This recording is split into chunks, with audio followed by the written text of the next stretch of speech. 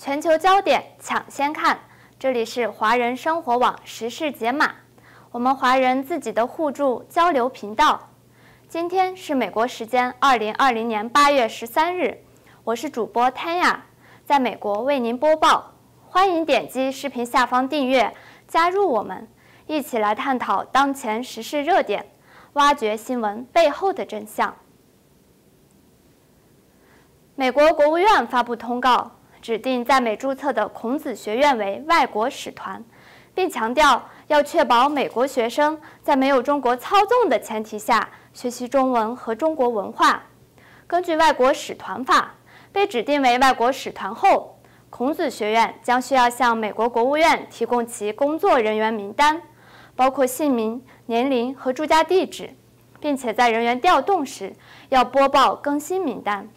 这些机构还必须获得美国国务院的批准，才能在美国购买和租赁任何房地产。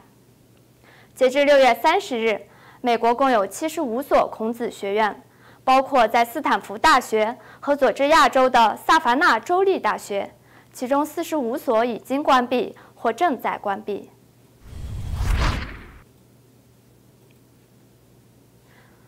中国时间八月十三日。在社交平台上，一名叫“时代尖兵”的网友爆料，崔永元在八月十一日晚昏迷住院。该网友称，他本身就患有多种重疾，但也跟近期被气到有关。崔永元自己也曾说过，自己的病只有日本可以治疗。为此，该网友还晒出了一张崔永元急诊抢救入院记录的截图。网友们非常担心他的近况。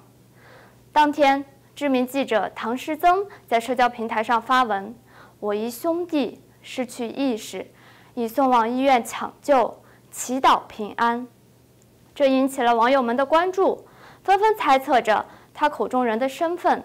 不过，还是有部分知情网友表示，昏迷者就是前央视著名主持人崔永元，纷纷祈祷着他能够转危为安。不久后。袁立的老公梁太平也在自己朋友圈转发，为崔老师祈祷，愿上帝安慰医治渴望实话实说的人，确定了崔永元现在的状况不佳。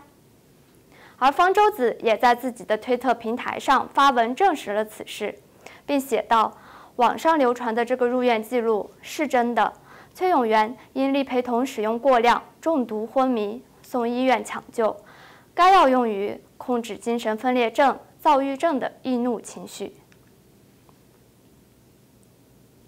好了，以上就是今天这档新闻的全部内容，感谢大家的收看，欢迎大家点赞、转发、订阅华人生活网 Life Channel 频道，别忘记点亮小铃铛，第一时间获得更新。如果您有任何建议和问题，请在评论区给我们留言，我们明天见。